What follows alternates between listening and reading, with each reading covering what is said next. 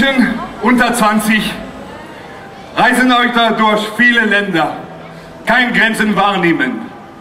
Aber diesen gleichen jungen Menschen müssen noch viele alte Grenzen niederreißen, die kein Hammer zerschlagen kann.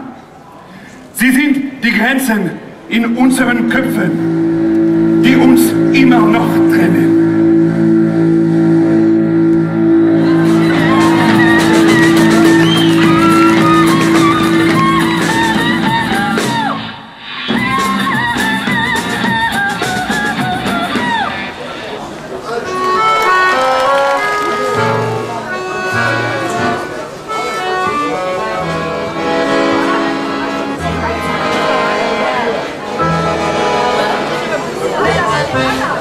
Portal, wo Sie ähm, Unterhaltungen jeglicher Art finden können, Konzerte, Festivals, Museen.